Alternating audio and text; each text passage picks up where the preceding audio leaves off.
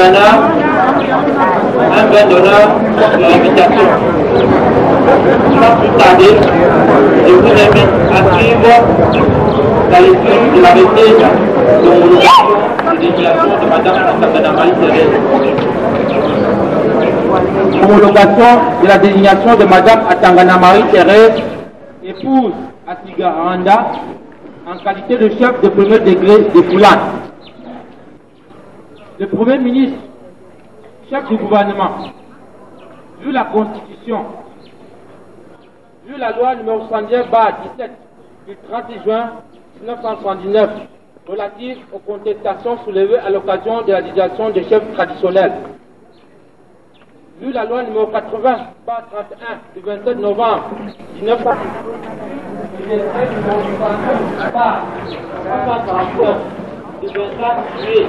1949 du 24 juillet 1972 portant organisations administratives de la République du Cameroun et modificatifs successants sur le décret numéro 67 bar 245 du 15 juillet 1949 portant organisation juridique traditionnelle modifié et complété par le décret numéro 82 bar 241 du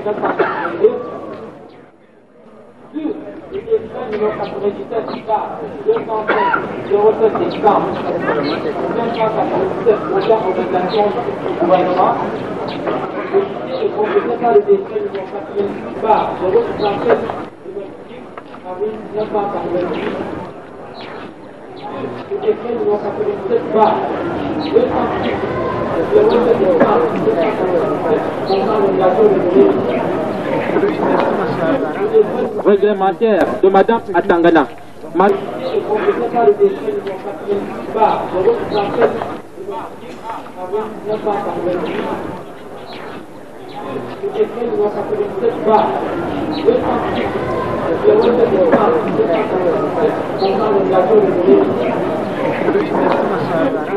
Réglementaire de Madame Atangana. Marie-Thérèse Catherine, épouse Atiga Anda, en qualité de chef de premier degré de Foulan, entre parenthèses, 73 588 habitants, département du Fundi, province du Centre. Publié au journal officiel en français et en anglais. Yaoundé, le 27 mars 2000, le Premier ministre Peter Mafani Moussongue. Je vous remercie.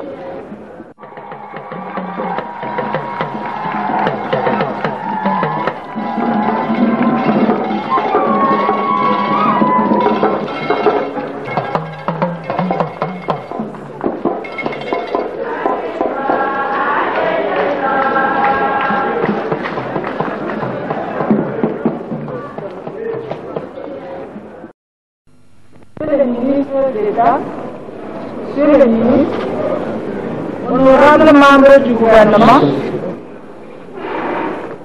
honorables membres du Parlement, chefs de mission diplomatique et représentants des organisations internationales, Monsieur le gouverneur de la province du Centre, autorités religieuses, Leur Majesté, les chefs traditionnels, distingués invités, Mesdames, Messieurs,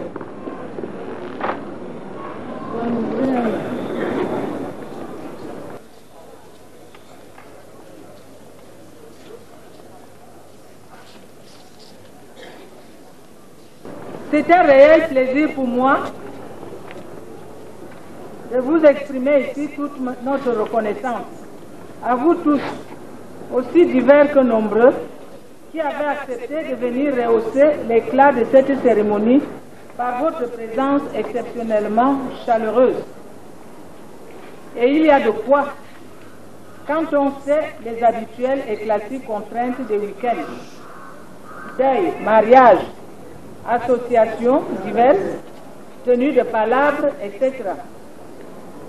Mais malgré tout cela, vous avez décidé de sacrifier vos programmes respectifs pour venir ce matin au Palais des Congrès nous apporter votre, votre affectueux soutien, nous témoigner vos précieux encouragements et surtout nous confirmer tout l'intérêt que vous accordez à la chefferie traditionnelle en général et à celle du Fundi en particulier. Du fond du cœur, nous vous disons encore merci. Nous voudrons d'abord exprimer toute notre gratitude au chef de l'État qui a accepté, malgré les difficultés de toutes sortes, que la chefferie du Fundi renaisse de ses cendres et reprenne la place qui est la sienne dans le concert des chefferies, afin qu'elle puisse apporter sa contribution au développement social et culturel de notre pays. La chefferie supérieure de Yaoundé, dont le ressort territorial correspond au département et à la ville de Yaoundé, est toute particulière du fait qu'elle abrite les institutions de notre pays. De ce fait, elle a un devoir de paix et de réconciliation permanente. C'est à ce titre que notre préoccupation première sera qu'elle soit, que cela soit un état d'esprit au niveau des familles du Fundi et des populations, toutes mes administrées sans exception. Nous venons de vivre ensemble la symbolique de la cérémonie d'intronisation et d'installation officielle. Nous sommes toutes conscients que c'est maintenant que le plus dur va commencer, dès lors qu'il faudra réussir à tout faire pour répondre aux multiples et délicates attentes de la population du Fouti. Respecter la ligne de conduite tenue par nos prédécesseurs et convaincre tous ceux qui douteraient encore de notre volonté ou de notre capacité à répondre aux attentes des populations.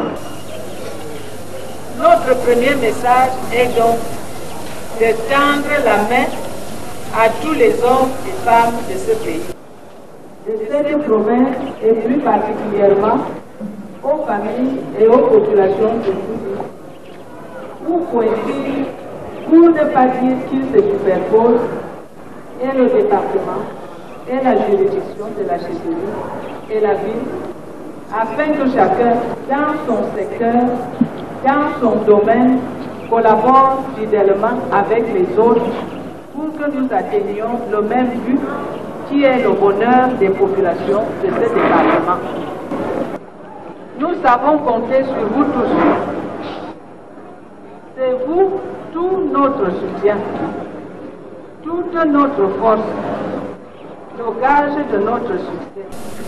En dépit des controverses que nous avons vécues de part et d'autre, nous en appelons à la réconciliation et nous voudrons affirmer haut et fort qu'avec votre aide, celles des autorités et celles de Dieu, nous sommes persuadés que nous ne décevrons pas. Ces succès invitent à la paix, à la réconciliation, à la solidarité, à la fraternité, à l'entraide entre toutes les familles et toutes les populations du monde en communion avec leurs chefs, en respectant les autorités et sous la conduite du chef de l'État, que je formule tous mes voeux pour que vive la chefferie supérieure des Foulaines ressuscitée, vive le département du Foundi, vive le président Paul et que Dieu bénisse le Cameroun.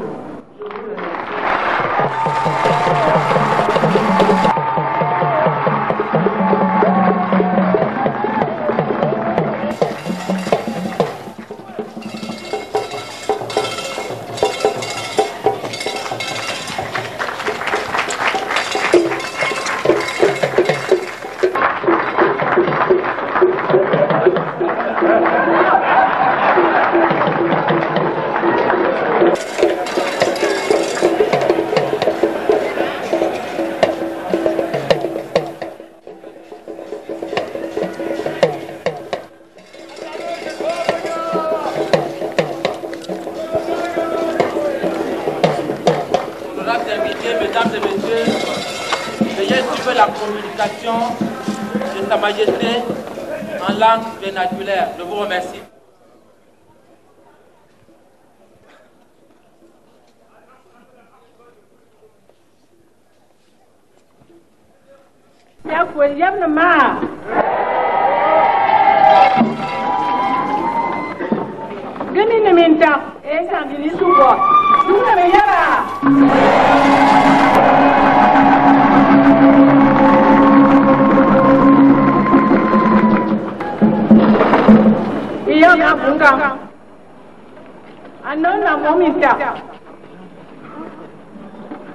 Sizambongam.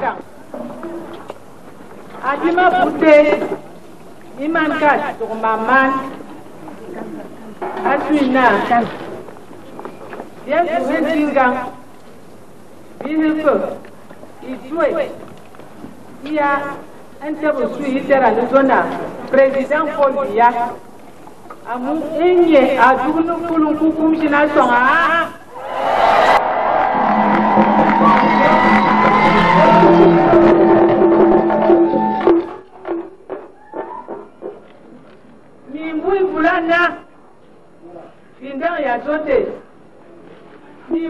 lɛ ni daŋa na. Ni bi ba maa ti na baŋa wu. Miimbu amu iwaŋa bɛ ka kɛ ni tɛbi kukumu gɔli wundi ha. Nyini iwaŋa ya bi tɛbi bi ba maa ti. Nbu tara nga wu. An buwa kuru mbɔ ɛmi e teri bu. E ɛmi bu mu wɔm nyiimi lɛ ni bi a duuni fi biya jaa zamte ni nyina na. Baba yin makalina, ajotina, atija to jama'a. Kinyi nungulite? Ọ̀sùn panu nungulite? Baba yin makalina. Min mi ayi bonu kukumu to ban fanga. ona onkuku to manunkuku ma nfa wama ima mesim nga lot ma ka usuo nche bibisi bi asu ina bi ha anti ya o so na no wala tuni onkuku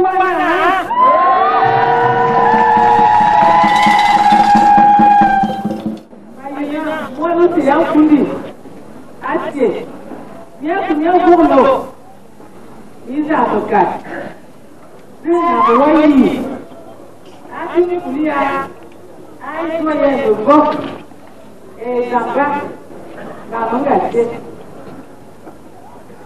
madamtazinumukamina ijo kwaya kamutiyanama kwi amayikwangalati hana akwụra ndị owuwe ine na nwere ịtọba akwụnde ha. Akwụsị agaghị ya.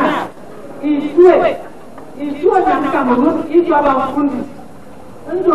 Ibele kwamịtị na bikam na ịtọ bikam na ebibebe akwụsị bibebe iwu na ihe mmadụ ndị ha. Nwa na ya ndị mamba kaba boma yuka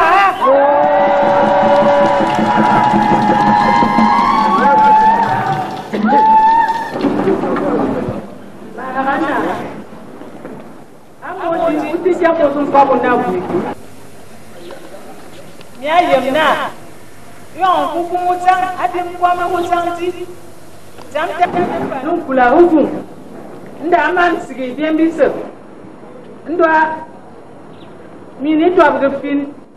A mui jɛme tɛlti maa yɛni lom zo mi yan kukuma mo lom zalin kukuma mo dugni suŋni mo kulmi na mo dugni huri mo suŋa fina bɔn bi zal bi dugni bi fuliya e bɔr bi sugum bi bɛlɛ nga mo kpaba bi ma ha yi mo kan sɔŋ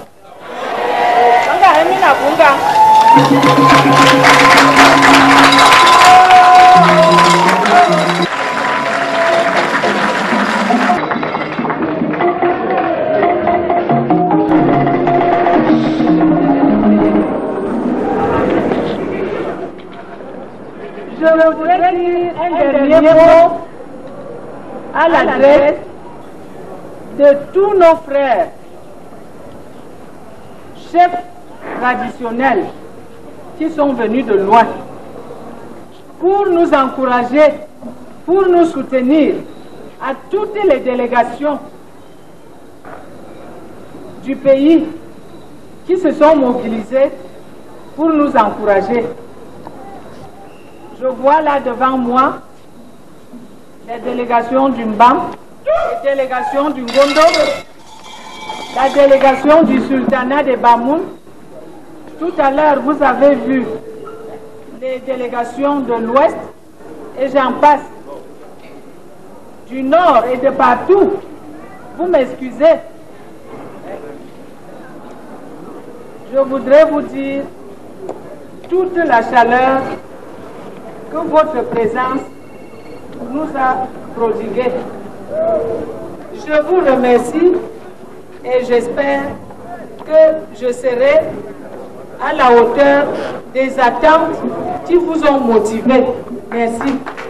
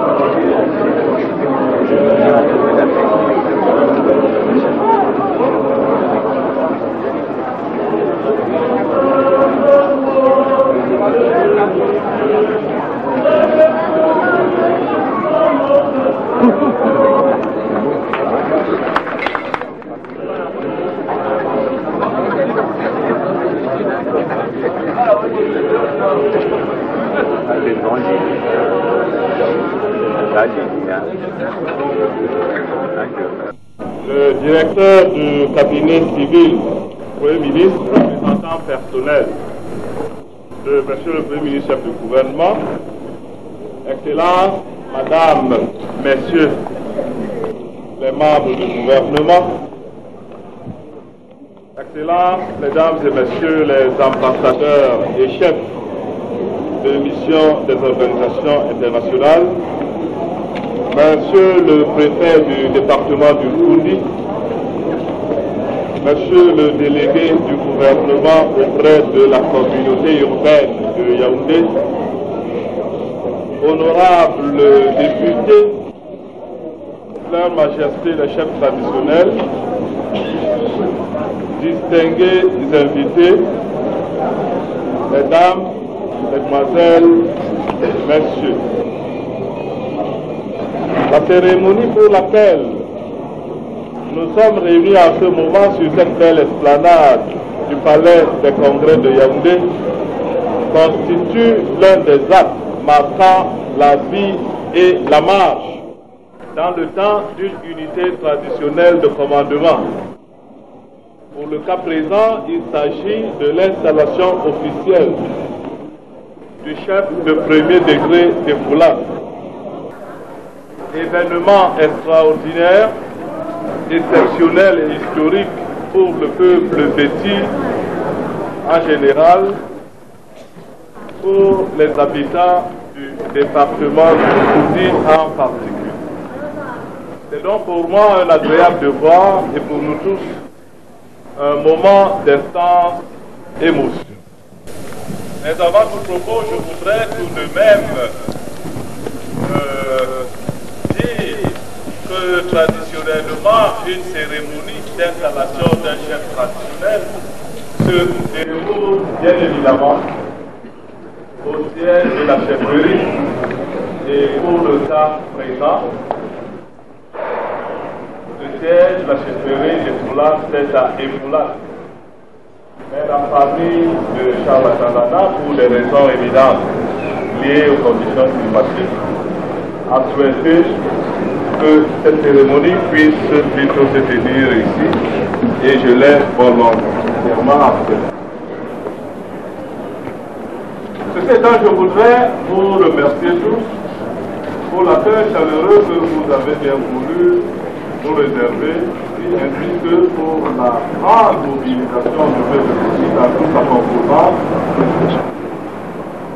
en cette heureuse circonstance. Voudrais particulièrement remercier toutes les personnalités ici présentes qui ont bien voulu sacrifier un moment de leur temps pour rehausser d'un éclat particulier cet événement pas habituel dans cette partie de notre pays. Je remercie très très très particulièrement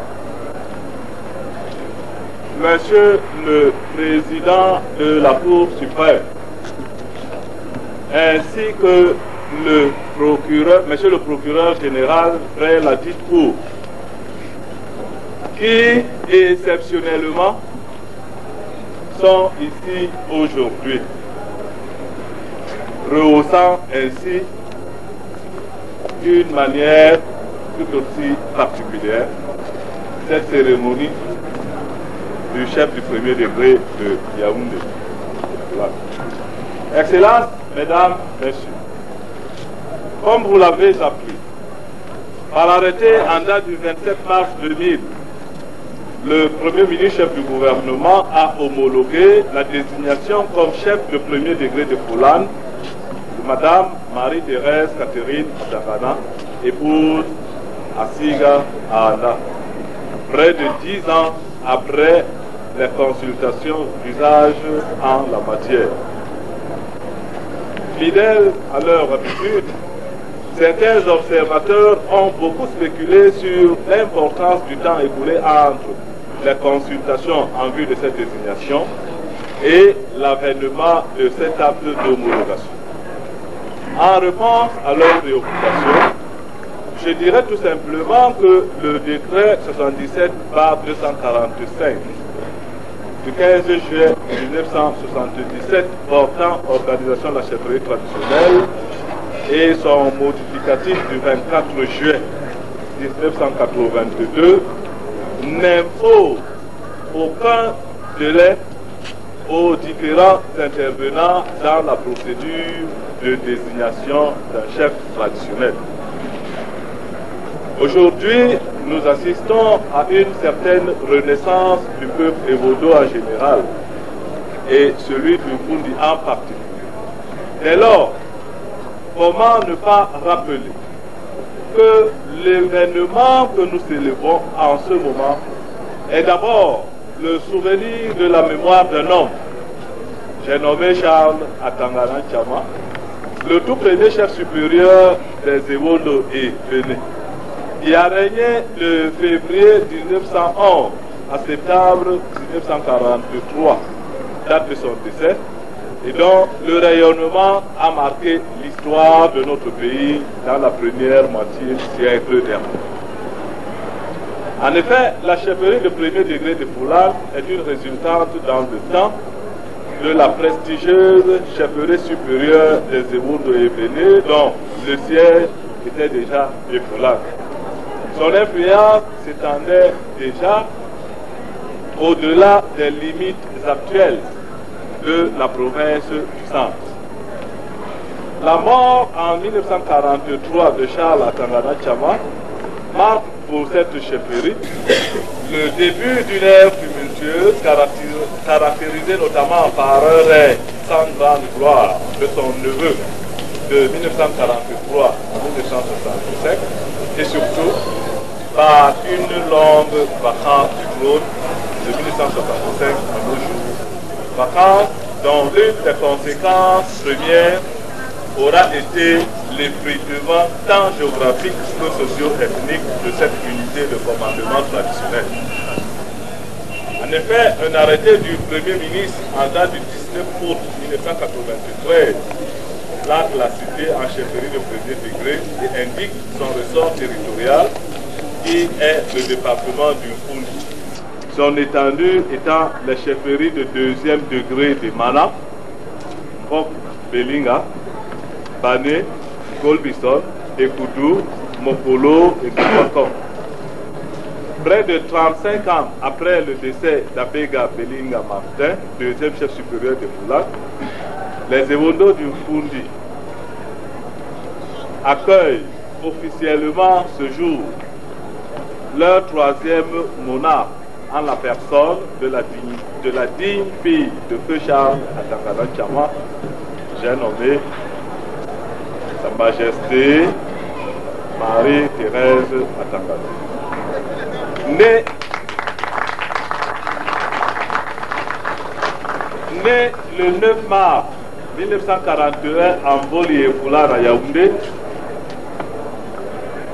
Sa Majesté Marie-Thérèse Atangana est la fille aînée du chef supérieur des Ewondo, Béné et Tenga, des Ewondo, Béné et Tenga et du Nabani, Charles Atangana, de Charles Atangana et de Gonoa Julien. Après des études primaires à l'école des filles de Messa et à Mimetala et études secondaires au collège moderne des jeunes filles de Neubel à Douala. Elle s'envole en France où elle effectue des études supérieures de biochimie et de biologie à Rouen et à Paris de 1961 à 1965. Rentrée au Cameroun comme technicienne de, de laboratoire, elle travaille à la faculté des sciences de l'université de Yaoundé de 1968 à 1977.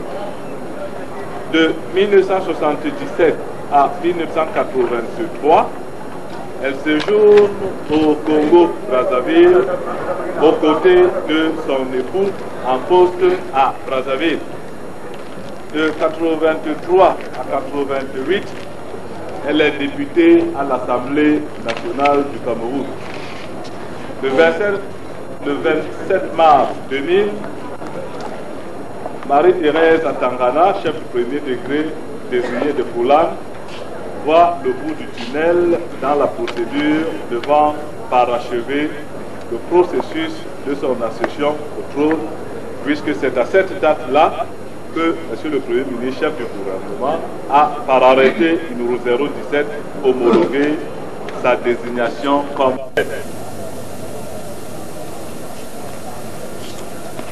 Sa Majesté Marie-Thérèse Atangana est mariée, je l'ai déjà dit, depuis 1965 à M. Asiga Ana, ici présent.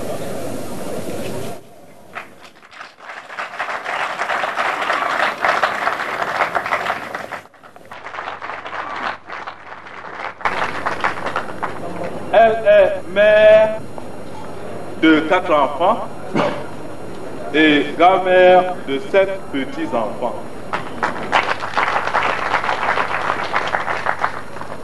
Elle est commandeur de l'Ordre national de la valeur et chevalier de l'Ordre de la Pléiade et du dialogue des cultures. Elle est également auteur d'un ouvrage intitulé Société africaine et High Society.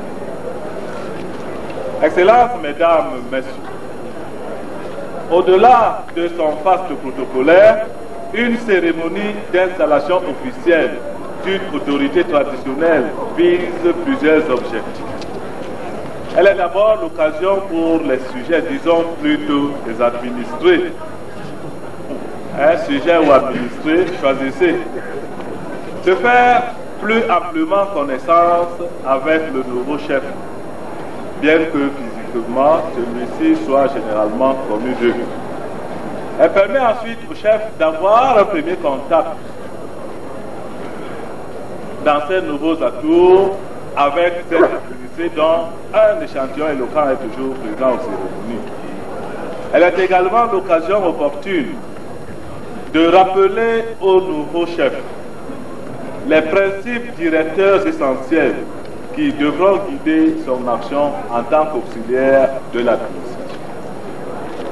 Elle permet enfin d'appeler les populations placées sous son encadrement à plus de conscience, de civisme et de responsabilité dans leur comportement et dans leur rapport avec le chef. Sa Majesté Atangara Marie-Thérèse, chef de premier degré de Votre carte de visite est riche et variée. Votre parfaite connaissance des hommes, votre connaissance certaine des coutumes et wodo, voire bêtis, devrait pouvoir me dispenser de l'obligation de vous prodiguer des conseils. Mais comme dirait l'autre, ce qui va de soi va encore mieux en le disant, je vais tout de même me faire le devoir de vous rappeler vos missions et vous donner quelques recommandations propres à guider efficacement votre future action. S'agissant de vos missions, le décret numéro 77 245 du 17 juillet 1977 portant organisation des chefferies traditionnelles les précise. Ainsi, vous avez pour principale tâche de seconder les autorités administratives dans l'encadrement des populations, puisque chef traditionnel, vous êtes un auxiliaire de l'administration. À ce titre, vous devez, en premier lieu, transmettre fidèlement à la population les directives des autorités administratives et en assurer leur exécution. En deuxième lieu, vous devez concourir sous la direction des autorités administratives compétentes au maintien de l'ordre public et au développement économique, social et culturel de votre unité de commandement traditionnel. En troisième lieu, vous devez collaborer efficacement au, collaborer efficacement au recouvrement des impôts et taxes de l'État et des collectivités territorialement décentralisées dans les conditions fixées par la réglementation. Au-delà de ces missions, vous accomplirez toute autre mission que peut vous confier l'autorité administrative locale. Vous pouvez, au demeurant et conformément à la coutume, et lorsque les lois et règlements n'en disposent pas autrement, procéder à des conciliations ou arbitrages entre vos administrés. Pour l'accomplissement heureux de ces missions, je vous recommande, au plan socio, culturel et traditionnel, d'une part, de faire revivre le peuple Ewodo, pour ne pas dire petit, placé sous votre autorité, car il est longtemps resté orphelin. À cet effet, vous avez la lourde tâche de revigorer vos us et coutumes, de valoriser en les vulgarisant vos traditions et de restaurer et sauvegarder le patrimoine culturel de ce peuple. Et Foulard doit, sous votre règne, redevenir ce chef-lieu de rencontre et de rassemblement. Bref, le point de convergence de Yaoundé culturel et traditionnel. Vous devez d'autre part aider les autorités administratives à restaurer l'hygiène et la salubrité publique. Action que vous mènerez en priorité. À ce propos, vous devez concourir à la mise sur pied des comités d'hygiène dans les blocs, les quartiers, les villages composant vos territoires de commandement et engager ainsi une campagne permanente de sensibilisation. Au plan sécurité, le chef traditionnel que vous êtes a l'obligation de connaître parfaitement ses administrés et de collaborer avec les autorités compétentes dans leur mission de protection des personnes et de leurs biens. Ainsi, vous avez le devoir de renseigner permanemment votre hiérarchie administrative. Pour ce faire, je vous recommande de collaborer à la mise en place et à l'encadrement des comités de vigilance, de même que vous devez sensibiliser vos populations à l'effet de dénoncer systématiquement tout fait et geste susceptible de porter atteinte à la sécurité des personnes et des biens. Au plan socio-économique, vous devez susciter le goût du travail et de l'effort auprès de vos administrés. Ce faisant, vous aiderez les pouvoirs publics dans la lutte engagée contre la pauvreté. De manière particulière, vous combattrez les habitudes qui ont fait leur lit et qui ont pour nom alcoolisme, vente illicite de terrain ou escroquerie foncière, pratique de sorcellerie, trafic d'influence et que sais-je encore. Ces mots étant de véritables freins à leur développement et à leur épanouissement. Au demeurant, vous devez rassembler autour de vous vos administrés. Cultivez donc la paix, l'amour et la concorde. La résolution des problèmes auxquels il est quotidiennement confronté. Peuple et.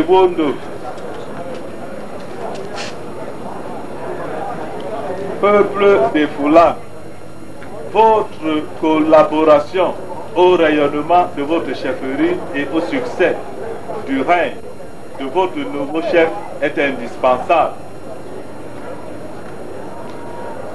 Si elle lui faisait défaut un seul instant, son règne en serait gravement compromis.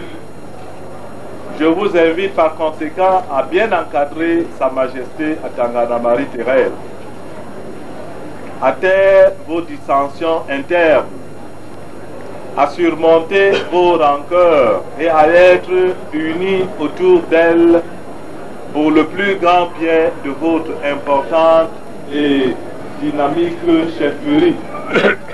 La chefferie de premier degré de Foulard sera ce que les Fimana, Bok Belinga, Bane,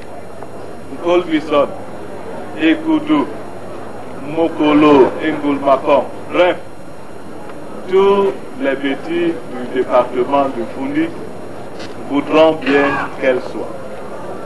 Le prestige de vos coutumes et la respectabilité de votre culture et surtout celle de votre chef dépendent entièrement de la tonalité que vous leur donnez. En ce qui, me, ce qui concerne les autorités administratives de Founi, moi-même, vous trouverez toujours auprès de nous une disponibilité de tous les instants et le soutien nécessaire pour le plein épanouissement de la prestigieuse chefferie de Foulard. Sa Majesté Marie-Thérèse Atakara, en vous installant donc aujourd'hui comme chef de premier degré de Foulard, j'ai la ferme conviction que vous mettrez un point d'honneur à mériter toujours davantage la confiance placée en vous par les familles, les notabilités et les populations de votre chefferie supérieure. Vive la chefferie de premier degré de Plan, vive le département de Fundi, vive son excellence pour l'IA.